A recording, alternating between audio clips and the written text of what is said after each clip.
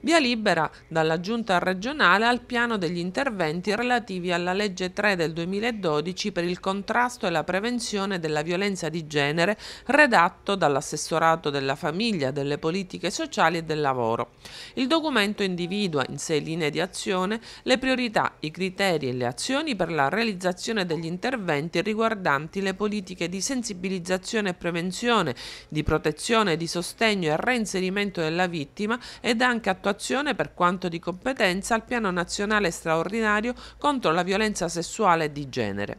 La Giunta ha inoltre indetto le elezioni amministrative per il prossimo 11 giugno con ballottaggio il 25 di giugno e ancora ha stanziato ulteriori 36 milioni di euro per interventi sulla viabilità statale da realizzare con ANAS mediante APQ Viabilità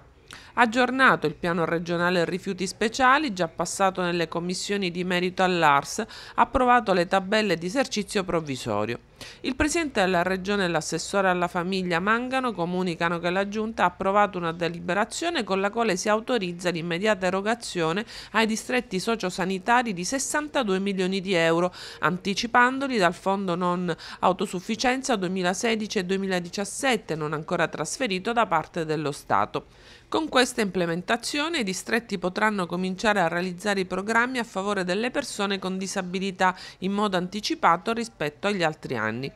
Tali somme, ha detto Crocetta, si aggiungono ai 36 milioni in corso di impegno, ulteriori 34 milioni verranno trasferiti agli enti locali dopo l'approvazione della finanziaria per l'assistenza ai disabili. Per il 2018 e il 2019, conclude il Presidente, lo stanziamento complessivo sarà invece di 240 milioni circa ogni anno.